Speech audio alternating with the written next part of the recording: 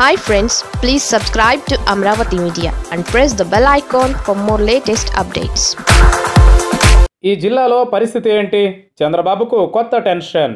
రాష్ట్ర వ్యాప్తంగా త్వరలోనే స్థానిక సంస్థలకు ఎన్నికలు జరగనున్నాయి. ఈ క్రమంలో అధికార పార్టీ ప్రజలను ప్రసన్నం చేసుకునేందుకు వ్యూహాత్మకంగా ముందుకు సాగుతోంది. సాధారణ ఎన్నికల్లో నూట యాభై ఒక్క మంది ఎమ్మెల్యేలను సొంతం చేసుకున్న వైసీపీ భారీ మెజారిటీతో అధికారంలోకి వచ్చింది. ఏడు మాసాల పాలన తరువాత జగన్ ప్రభుత్వం ఇప్పుడు కీలకమైన స్థానిక సంస్థల ఎన్నికలను ఎదుర్కొననుంది.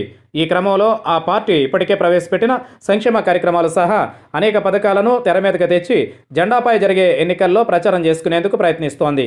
మరి ఈ సమయంలో ప్రధాన ప్రతిపక్షంగా ఉన్న టీడీపీ పరిస్థితి ఏంటి అనే ప్రశ్న తెర మీదకు వస్తోంది. గత ఏడాది జరిగిన ఎన్నికల్లో టీడీపీ ఘోరంగా పరాజయం పాలైంది. కేవలం ఇరవై మూడు మంది మాత్రమే టీడీపీకి ఎమ్మెల్యేలు మిగిలారు.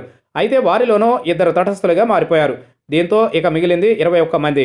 వీరిలో ప్రత్యక్షంగా చంద్రబాబు వెంట తిరుగుతున్నది కేవలం పది మందికి మించడం లేదు. దీంతో టీడీపీ బలం కానీ టీడీపీ వాయిస్ కానీ ప్రభావం చూపించడం లేదు. ఇదిలా ఉంటే చాలామంది నాయకులు పార్టీ మారిపోయారు. దీంతో చాలా మేరకు నియోజకవర్గాల్లోనూ మండల స్థాయిలోనూ కొన్ని నియోజకవర్గాల్లో సరైన నాయకులు లేని పరిస్థితి ఏర్పడింది. దీంతో టీడీపీ గడ్డు పరిస్థితి ఎదుర్కొంటోందని చెప్పడంలో ఎలాంటి సందేహం లేదు. ఇక మొత్తం నూట డెబ్బై ఐదు నియోజకవర్గాల్లో ఇరవై నియోజకవర్గాల్లో పార్టీ జెండా మోసి పార్టీని ముందుకు నడిపించే వాళ్ళే లేరు. అసలు ఇక్కడ పార్టీ తరఫున స్థానిక ఎన్నికల బాధ్యతలు ఎవరు చూస్తారో తెలియక అయోమయం నెలకొంది. అయితే గడిచిన ఇరవై రోజులుగా చంద్రబాబు కొంత హడావిడి చేస్తున్నారు. రాజధాని విషయంలో ప్రభుత్వం వ్యూహాన్ని ఆయన ముందుగానే ఎండగడుతూ నిరాహార దీక్షలు నిరసనలు ధర్నాల పేరుతో ప్రభుత్వంపై విమర్శలు గుప్పిస్తున్నారు. ఇక ఇసుక సమస్యలపైన ఆయన గతంలో ప్రజల మధ్య ఉన్నారు. దీంతో ఇప్పుడు ఇవి ఫలిస్తాయా?